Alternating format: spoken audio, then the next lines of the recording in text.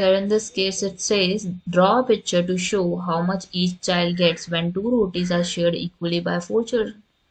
they are saying that we have two rotis and how many children are there there are children four children now we need to suggest them how they would be having each roti see two rotis को हमें किसमें divide करना है four parts में ठीक है इसका मतलब क्या हो गया I would get one by two divide करने पे इसका मतलब most all of these would get half half rotis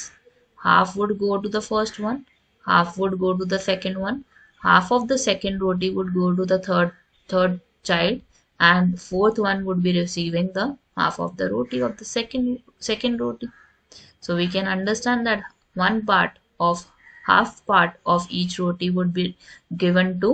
one student now we need to understand that how they are saying also write the corresponding division facts and addition facts and multiplication facts. सबके हमें क्या लिखना है we need to write the division facts addition facts and the multiplication fact division fact में क्या आएगा आपका सबसे पहले two wholes divided the four parts दो होल्स को हमने किसमें डिवाइड किया है into four parts second situation क्या है हमारी addition fact is the addition fact में क्या हो जाएगा हमारा? You would be having two by four to the first person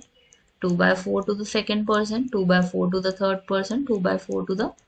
last person ये सम टोटल क्या बनना चाहिए हमारा यहाँ पे? It must be two rotis आप सबको ऐड कर दो।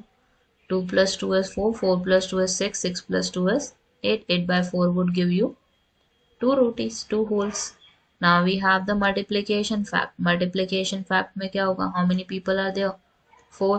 किससे divide multiply करोगे two by four से so multiply sorry divide four and four you would get two wholes क्यों किया ऐसे हमने क्योंकि four child was four children were there and how many rotis they are getting in each case two by four so it would become two as the